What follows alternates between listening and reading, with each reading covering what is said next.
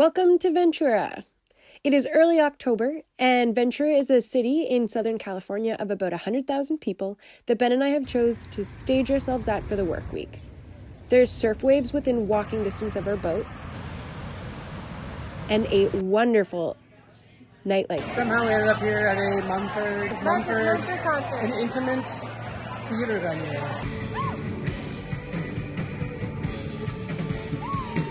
But most importantly, it's close to the Channel Islands, which Ben and I are so stoked to be spending the weekend at because we have heard so many good things.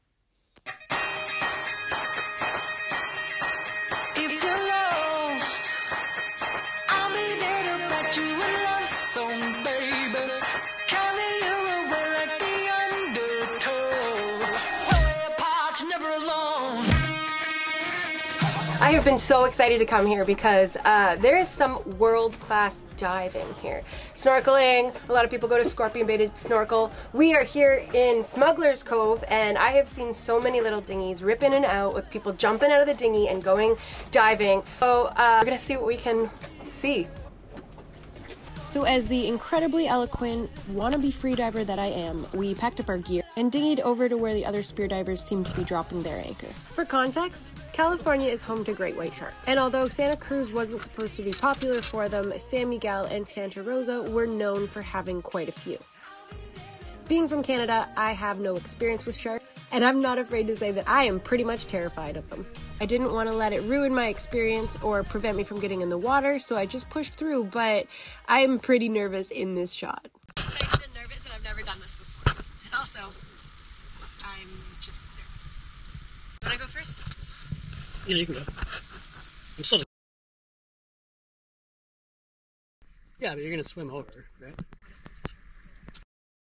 you swim back.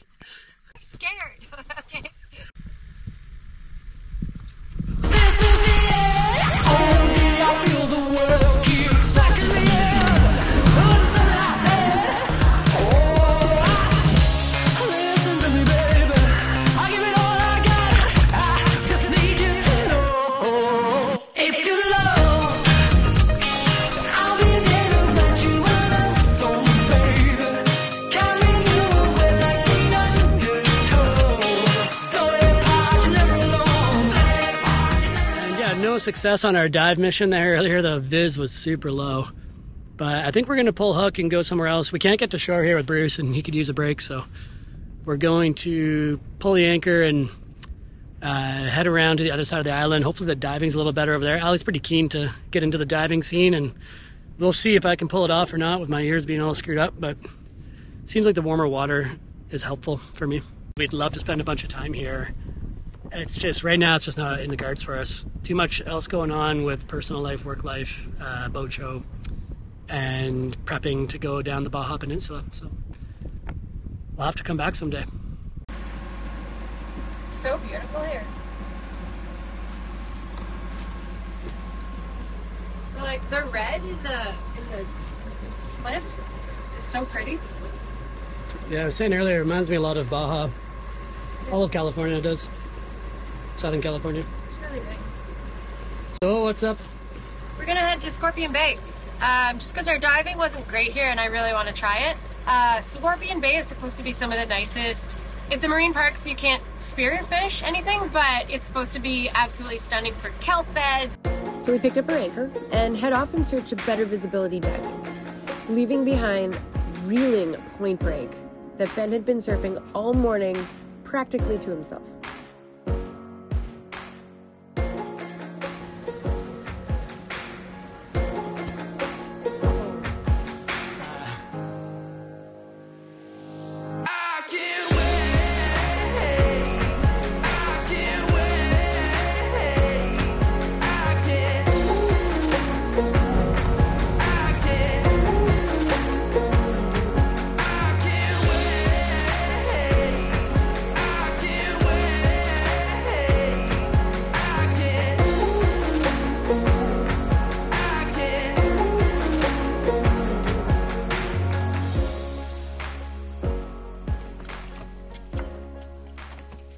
We found a pretty cool little nook over here in i think we're in big scorpion Big Scorpion. We're hoping these. It's this weird, like unseasonable fog system or cloud system in the area, but it's it's sunny where we are, just barely. It's over there, cloudy, over us. East, it's like blue skies, beautiful. Hopefully, we can keep some sun here where we're at. Sun-seeking son of a bitches that we are. We're still drying out from BC. Yeah. We're gonna go over to that little beach. I don't know if you can see that or not. And then check out these cool caves. I want to go explore them.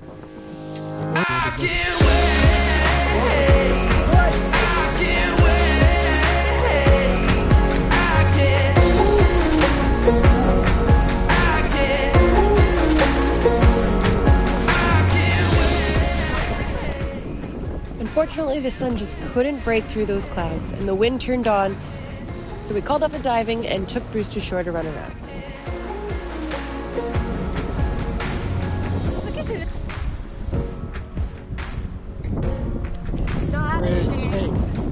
No way. You're almost eight. You're gonna blow ahead.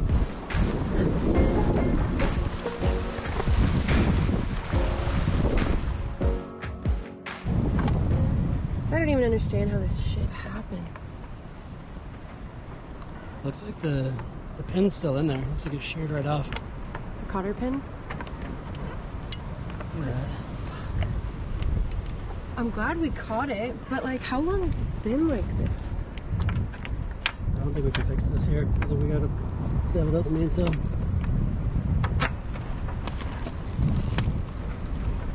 Uh, I mean, I got a hammer. I could try to, but that's so folded in. bummer. It's gonna slow us down quite a bit if we're trying to make it to Oceanside or Catalina Island. We gotta make it to the boat show. What will we do if we don't make it there? Oh, a motor. Yeah, it's a pain in the butt, but we do have a flight to catch, and we haven't been sleeping that well the last couple days because it's super rolly here, and it just feels like we just need to get a move on and not dick around with this for a long time. So we're gonna just put the boom, strap it down onto the deck, yeah, and I need more main sheet. then throw the mainsail into the boat for now. Get moving. And, well, let's get this thing strapped down, get a move on. At least it's not raining. At least it's not raining. There we go. Positivity. It's not raining. If it fucking starts raining though, I quit. Well, time waits on nobody. We had a flight booked to the Annapolis boat show that we were due at in a couple days. So, gooseneck or not, we had to get moving.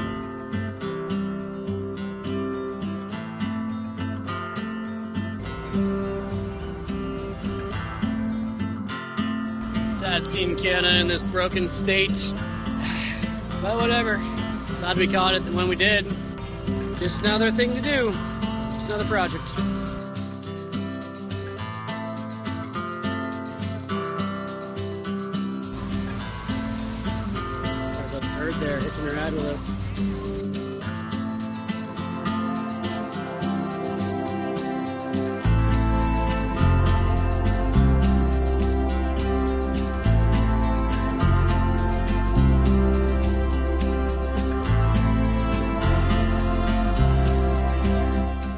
It's about 150 nautical miles from Santa Cruz Island to Oceanside. So we made a pit stop at Catalina Island to sleep, not really having much time to explore.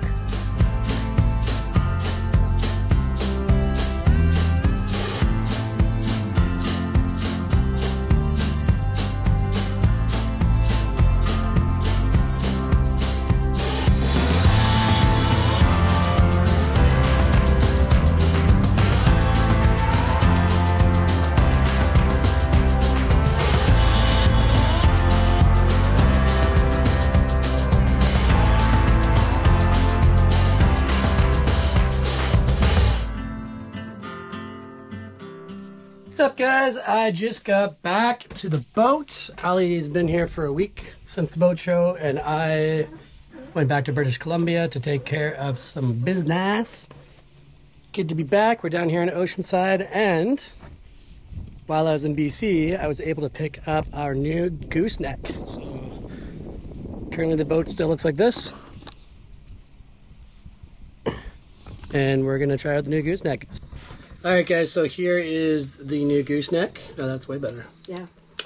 Um, this is the one that Blackline made for us up in Canada, and then I was going to be in Canada anyway after the boat show, so decided to mail them the old one so they could replicate it and I'd pick it up there because they're the best. And honestly, I just trust them to do good work for us, and I wanted this thing to be perfect. So it does look. I don't have the old parts with me anymore, but it looks identical. Um, so I think they did a really good job.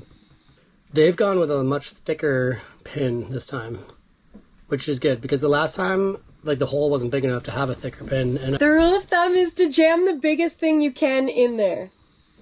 well, what am I doing wrong then?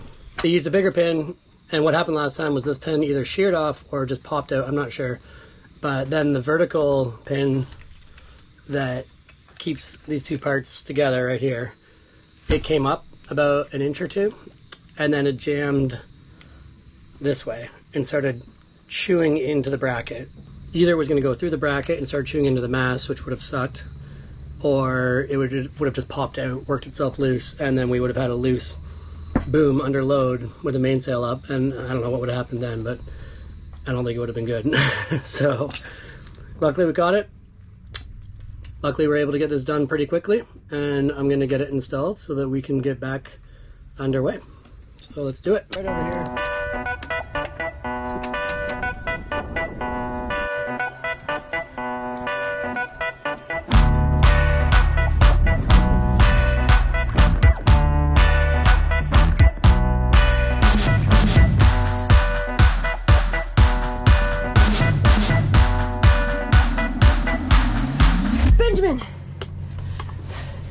Just saw a fisherman, and he told me where we can catch lobster. Let's go get some lobster.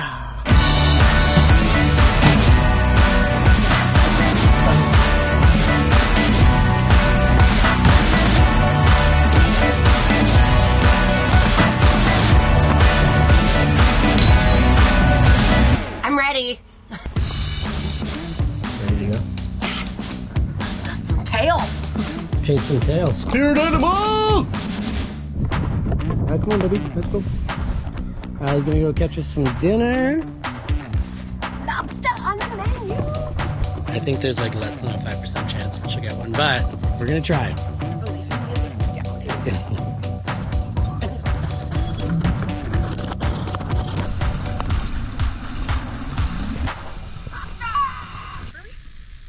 Not very deep. Oh wow, that was a solid one and a half second breath hold.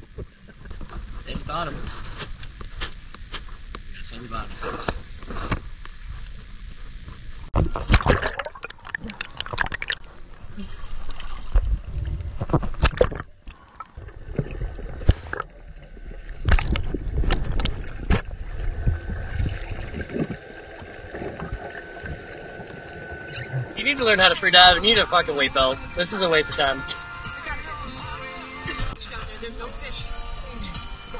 Fisherman lied to me.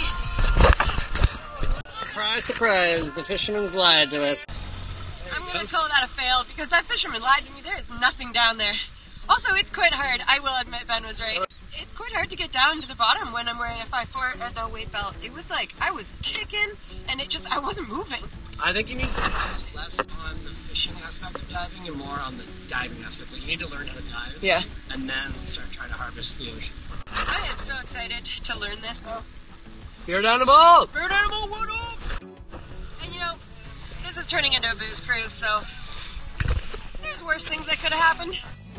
Turns out spear diving is harder than it looks. But who could really be upset when there's surf waves around the corner from where the boat is parked? And it's parked in a marina that looks like this. Plus, we had our trip down the Baja coast fast approaching, and there would be plenty of opportunity to not only surf, but also improve at freediving. Stay tuned so you don't miss out on that trip.